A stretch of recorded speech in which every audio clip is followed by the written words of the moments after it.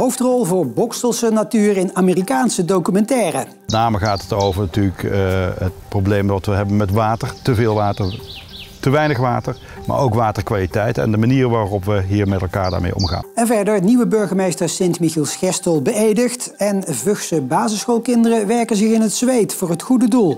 Dit is het DTV Nieuws.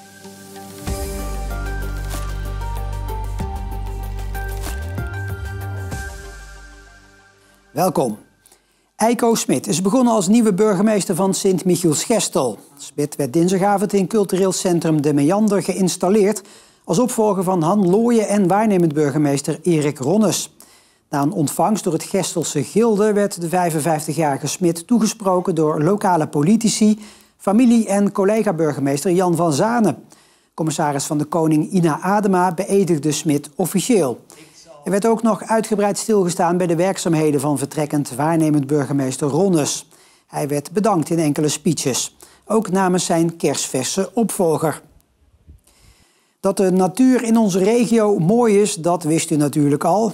De Dommel en Van Gogh Nationaal Park in Bokstel hebben nu zelfs de aandacht van Amerikaanse filmmakers getrokken. Ze maakten er een documentaire over die dinsdag in première ging. Een Amerikaanse filmploeg heeft een documentaire gemaakt over de Dommel. Ook wordt daarin het Van Gogh Nationaal Park belicht. De film is onderdeel van een reeks documentaires over bijzondere rivieren over de hele wereld. Zo heeft de Dommel ook zijn eigen bijzonderheden en uitdagingen. Met name gaat het over natuurlijk uh, het probleem wat we hebben met water. Te veel water, te weinig water, maar ook waterkwaliteit en de manier waarop we hier met elkaar daarmee omgaan. We lopen hier wat voor op de, rest uh, van de wereld blijkbaar. En het grappige is dat we dat zelf niet zo beseffen. Uh, het is nu een Amerikaanse tv-ploeg of filmploeg die hier naartoe komt uh, om dat bijzondere verhaal vast te leggen. en het gaat om een heel klein riviertje ten opzichte van die hele grote rivieren die over de wereld overal zo beroemd zijn als de Mississippi en de Nijl. En dan kiest men hier voor de Dommel, juist vanwege die kwaliteit die we hebben uh, en de bijzondere manier waarop we hier daarmee omgaan met dat beheer. Het lijkt misschien een gekke keuze om de Dommel als wereldrivier te zien. Toch kwamen de Amerikanen via een omweg in Brabant uit. Van Gogh Nature Park is er eigenlijk bij betrokken omdat die Amerikaanse uh, filmmaker kwam vanuit Eindhoven eigenlijk in contact uh, met de stad Eindhoven en de kwaliteit die die stad heeft. Die zei, goh, is toch jammer dat er hier geen rivier loopt. Ik ben net, bezig met een reeks van documentaires over rivier. Uh, en een van onze contacten, Erik van Gerwen daar uit die stad, die zei van ja, maar we hebben hier wel een rivier, dat is de Dommel. Uh, en niet alleen de kleine Dommel, maar ook de grote Dommel. Het grappige is dat die Amerikaanse filmmaker daar nog niet eens heel erg op aansloeg. Pas toen hij zei, ja, maar dat ligt in een Van Gogh Park. Toen gingen we de ogen open en uh, toen konden we uitleggen uh, waar we mee bezig zijn met natuurherstel, met uh, een mooiere en groene omgeving. En dat die dommel een cruciale rol speelt. De waterkwaliteit en zo'n beek wat er, en de rivieren die erheen lopen. en toen was hij eigenlijk helemaal om. Toen zei hij, ja, eigenlijk wat je hier ziet is dat wat jullie aan het doen zijn, loopt inderdaad voor op de rest van de wereld. Want jullie zijn net een stap verder in het terugbrengen van de natuurlijke loop en herstel van eh, de rivieren, wat zo belangrijk is voor het natuurherstel.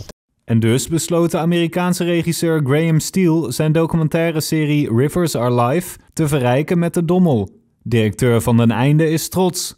we staan hier uh, in Liemde, op een prachtige plek, uh, aan de Dommel. Uh, nou, hier hoef je niet uit te leggen hoe mooi het is. Maar het, mooi vind ik wel weer dat zo'n Amerikaanse documentaire ons er wel op wijst dat we uh, iets heel moois hebben in onze eigen achtertuin en dat we heel zorgvuldig mee om moeten gaan.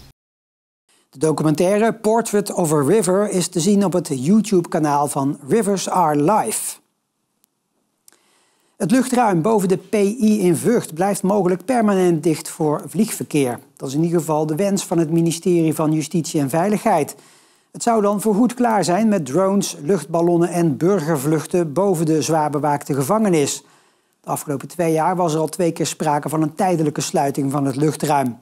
Op die manier kon de veiligheid rond de PI beter worden gegarandeerd. Als de situatie permanent wordt, dan kan er volgens het ministerie beter worden gehandhaafd. De plannen worden eerst nog besproken met alle betrokken partijen voordat de minister de knoop doorhakt. De leerlingen van basisschool De Pyramide uit Vught mochten woensdag voor één keer juist wel door de school heen rennen. Tijdens een speciale sponsorloop haalden de kinderen geld op voor Dream for Kids. Hoeveel rondjes ga je lopen? Weet niet.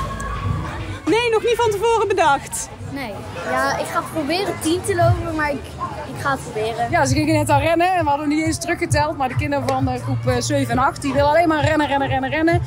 En eh, ze hebben wel vanochtend bedacht van nou ja, moet ik rustig beginnen of moet ik meteen hard gaan lopen. Maar eh, volgens mij eh, gaat het aardig de goede kant op. De kinderen van basisschool De Pyramide in Vught hadden woensdag maar één doel voor ogen. Zoveel mogelijk rondjes rennen tijdens hun sponsorloop. En om geld op te halen heb je natuurlijk wel sponsors nodig. Wie sponsort jou vandaag? Ehm, mijn moeder en mijn vader en mijn oma. Nou, heel veel mensen eigenlijk, want ik heb gewoon door de wijk gelopen en zo. Dus ja. Dus ja, er staat ook wel wat verwachting dan. Dat je, dat je lekker veel geld gaat binnenhalen. Ja, zeker. Spannend. Mijn eh, moeder, mijn vader en mijn oma. Hoeveel geld ga je ophalen? Weet nog niet. Met hun inspanningen halen de kinderen niet alleen geld op voor een nieuwe basketbalpaal op het schoolplein, maar ook voor Dream for Kids. Deze stichting organiseert zogeheten droomdagen voor kinderen met een trauma of ernstige psychische problemen. Om hun iets moois te kunnen geven, realiseren wij droomdagen. Daar hebben wij eh, vrijwilligers voor nodig en daar hebben wij geld voor nodig. En Basisschool de Pyramide doet dus deze ontzettend mooie sponsorloop om voor ons geld in te zamelen. Waardoor wij kinderen die het nodig hebben ook weer een eh, droomdag te kunnen geven. En wij zeggen altijd heel mooi, eh, zij geven kinderen een cadeau voor het leven. Ook die basketbalpaal is natuurlijk ook heel erg interessant. Maar we hebben wel met kinderen en samen met Anke van Dream for Kids hebben we gesproken. Kinderen van groep 8 zijn de, de groepen langs gegaan om te vertellen over Dream for Kids. Ze weten echt wel waar dat voor staat. En eh, ze weten ook echt wel dat er kinderen zijn die trauma's hebben of eh, andere eh, psychische problemen waar dit heel erg belangrijk voor is.